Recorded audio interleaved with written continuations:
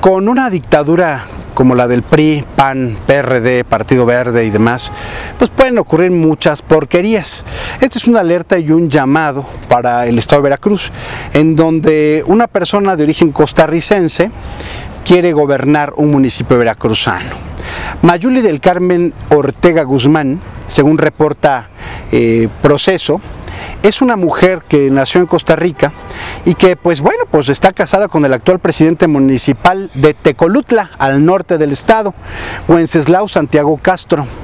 Esta mujer, pues imagínense ustedes, no es mexicana, no tiene derecho a ser votada y sin embargo está ahí por el Partido Verde para ser votada, para que el negocio de su marido, el negocio de esta bola de rateros y ladrones, pues continúe en aquel municipio. Un municipio, por cierto, muy bonito, Tecolutla está en Costa Esmeralda, la playa más bonita que hay en Veracruz. Y pues esta gente se la está chingando, ¿no? Se chingan todo lo que pueden. Yo creo que la Secretaría de Gobernación y Relaciones Exteriores también tendría que poner aquí su mirada.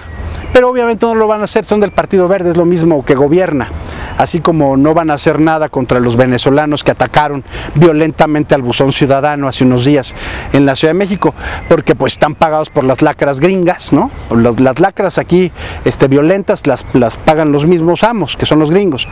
Y obviamente pues también a los gringos les conviene que haya gente corrupta, como esta mujercita Mayuli del Carmen Ortega Guzmán. Ayúdennos a que no gane, ayúdennos a desenmascararla, ayúdennos a que el, el artículo 33 se le aplica y se vaya para su casa y ayúdennos para que también en Tecolutla gane Morena.